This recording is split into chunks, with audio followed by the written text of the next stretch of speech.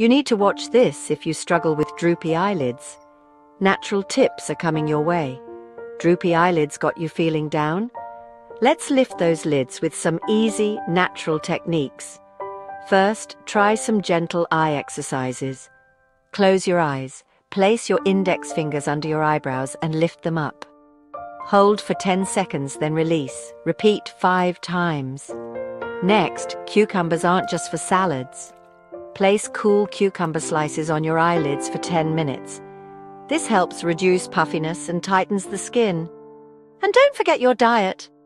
Foods rich in vitamin E, like almonds and spinach, can improve skin elasticity.